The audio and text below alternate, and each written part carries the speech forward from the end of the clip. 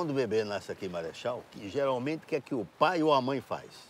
Pega o barro, joga na parede. Puf! Se o barro cair, é o quê? Se o barro cair, o menino é pescador. E se o barro ficar lá? Músico.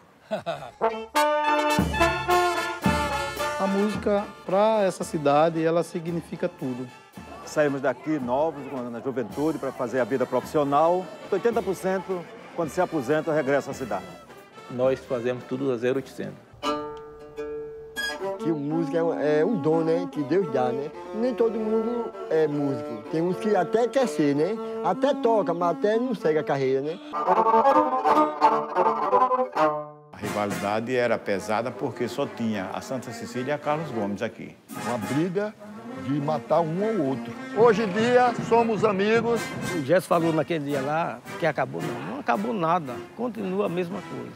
Ah! Tem uma menina do trombone que ela toca na conchega. E aí eu inspirei nela um pouquinho. Com o tempo elas vão crescendo, começam a namorar, e casa, tem filhos e também por esse motivo acaba deixando, né? Porque poderíamos até ter uma banda feminina aqui em Marechal.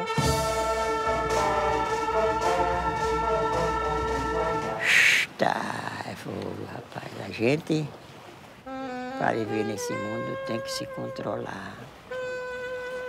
Já fizeram muita macumba para mim, mas não, nunca pegou. Para me matar. Macumba.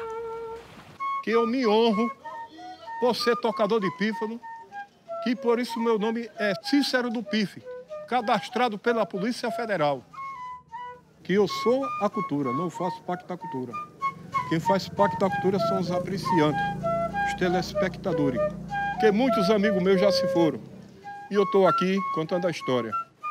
Contando a vida da vida.